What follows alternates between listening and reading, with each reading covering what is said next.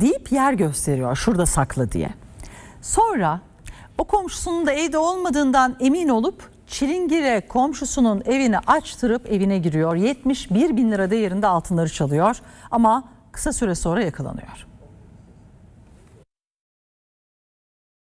Komşusunu arayıp ziyaret etmek istediğini söyledi. Evde olmadığını anlayınca çilingirle kapısını açtırıp altınlarını çaldı.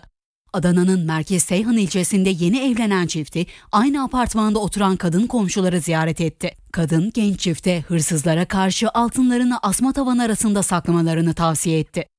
Bir süre sonra komşusunu arayıp tekrar ziyaret etmek istediğini söyledi. Evde olup olmadığını sordu. Komşusunun dışarıda olduğunu öğrenen kadın Çilingir'i arayıp anahtarı unuttuğunu söyledi. Çilingir'e komşusunun kapısını açtıran kadın evdeki altınları çaldı. Eve döndüklerinde kapının açık olduğunu gören çift polisi aradı. Binanın güvenlik kamerasını inceleyen polis yanında çilingirle binaya giren kadını gözaltına aldı. Şüphelinin çaldığı altınları kuyumcuya 71 bin liraya sattığı belirlendi. 19 bin lirayla iki bilezik alan kadın 52 bin lirayı banka hesabına yatırdı. Bilezik ve hesaptaki paraya el konuldu. Şüpheli ise çıkarıldığı mahkemede adli kontrol şartıyla serbest bırakıldı.